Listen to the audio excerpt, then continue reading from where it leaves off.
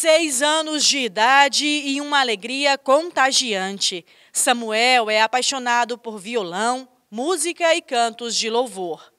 Dona Lucineide se emociona ao lembrar do neto, da voz e dos momentos juntos em família. Meu pecado castigado em Jesus foi ali pela fé que meus olhos abriu.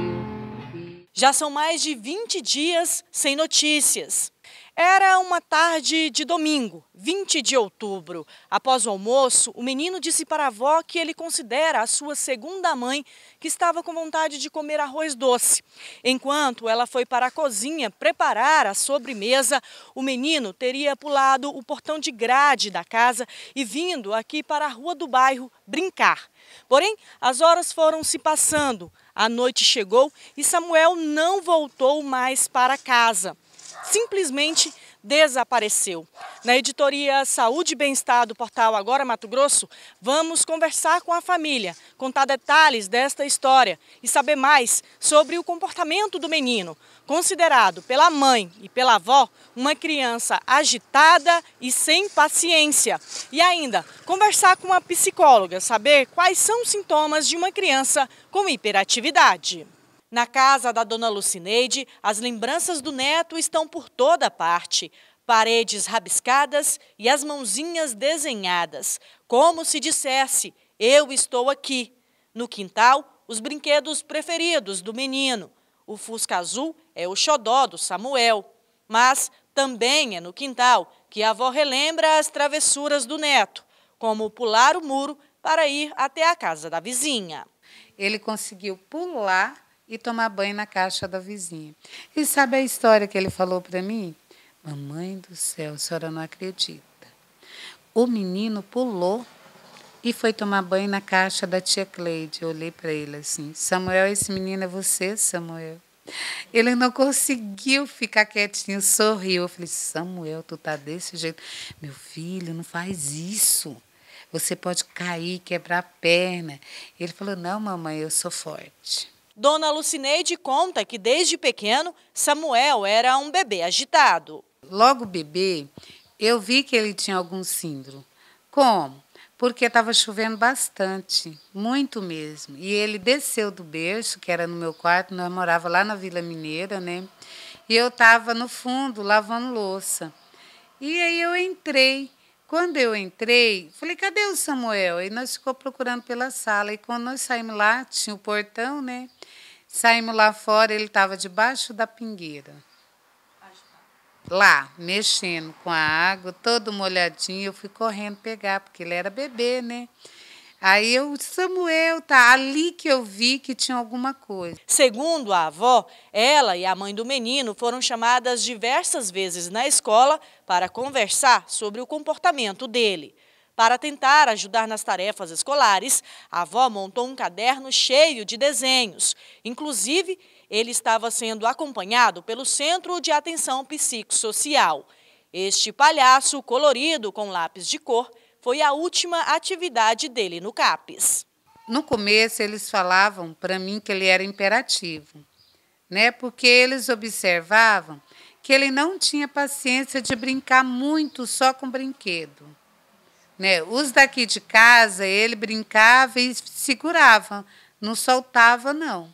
Eu vi que ele não soltava, principalmente essa pazinha que, que, que acharam ali, ele não soltava aquela pá. Esses dias eu observei, sim, que ele era agitado do nada, ele estava gritando forte do nada. Que ele queria ir para a rua, eu não deixava, ele ficava nervoso.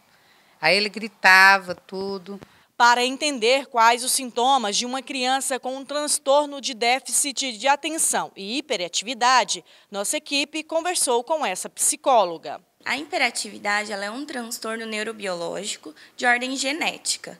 E acho importante ressaltar a diferença de uma criança imperativa para uma criança agitada. Porque a criança por si só, é, a natureza da criança, já é que essa criança seja uma criança que gosta de brincar, de pular, que tem essa necessidade de, é, de curiosidade, que tem essa curiosidade, na verdade.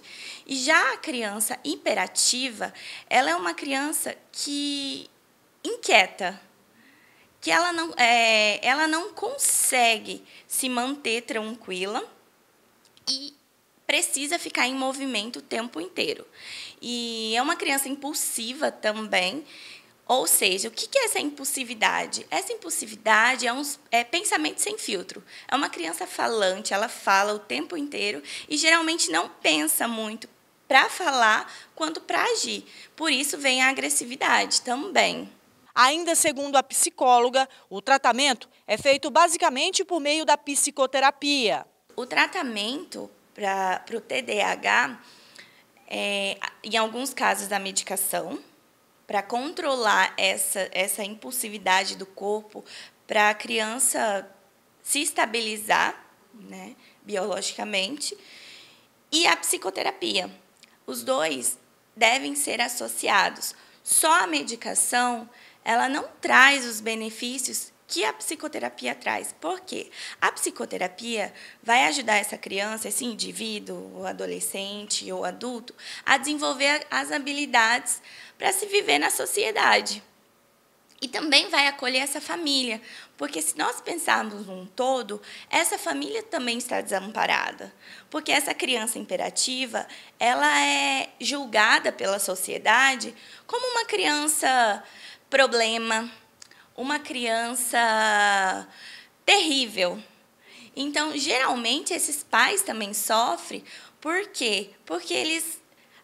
É, às vezes as, as, outras pessoas nem convidam para algum ambiente, para alguma é, festividade, ou até na escola, vão em muitas reuniões, porque realmente a sociedade ela não está preparada para essa singularidade dessa criança. E gosto muito de lembrar sempre para as famílias e para essa criança, porque a psicoterapia também é um autoconhecimento, que essa criança ela não é esse diagnóstico. Ela não é a criança imperativa. Ela é uma criança que tem as suas particularidades, a sua subjetividade e deve ser acolhida. No caso do Samuel, a família não chegou a receber um laudo comprovando que ele é uma criança hiperativa. O menino desapareceu antes disso. O desaparecimento do menino Samuel está sendo investigado pela Delegacia de Defesa da Criança e do Adolescente logo após a família registrar um boletim de ocorrência. A delegada tem um prazo de 30 dias para concluir o inquérito, mas esse prazo pode ser prorrogado caso ela veja a necessidade de mais investigação. É importante lembrar que a nossa reportagem está disponível no canal do Agora MT no YouTube. Qualquer informação verdadeira sobre o Samuel, basta entrar em contato com a Polícia Civil, Polícia Militar ou Corpo de Bombeiros. Os números da família também estão disponíveis.